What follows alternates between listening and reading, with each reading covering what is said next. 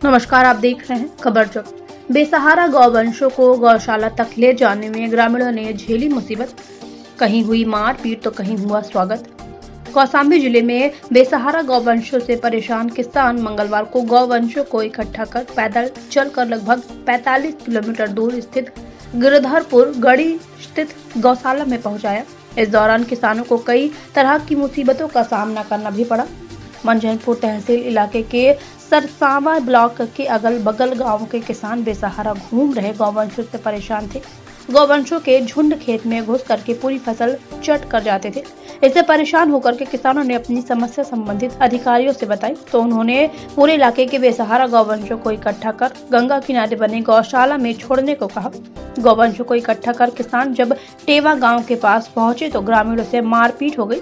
टेवा के लोगों को लगा के किसान गौवंशों को यहाँ छोड़ करके चले जाएँगे। पुलिस के समझाने बुझाने पर मामला शांत हुआ।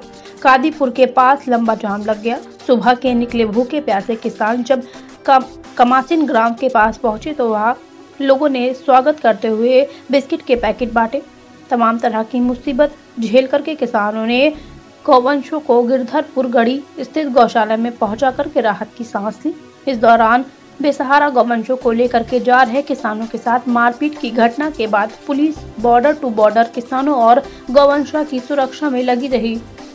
खबर जगत के लिए एल एन सिंह की रिपोर्ट। क्या है? मोटा चौराहे के पीछे से कितनी देर से आप लोग फंसे हैं? दो ढाई घंटा हो गया। किस लिए जाम लग गया? जानवर हाँक रहे हैं ना नाम बता दीजिए। नाम अपना। राम मूरत क्या हुआ है? ये जानवर आप लोग कहाँ से लेके आ रहे हो? कहाँ लेके जा रहे हैं? जानवरों के द्वारा हमारी फल फ़सल बहुत नष्ट हो रही थी। हम अंधावा गाँव से आ रहे हैं। अधिकारियों ने हमें परमिशन दिया है। हम लेहदारी पुल के पास एक गौशाला बनाया गया है। वहाँ जानवरों को हाँक कर ले जा रहे हैं। गौशाला में।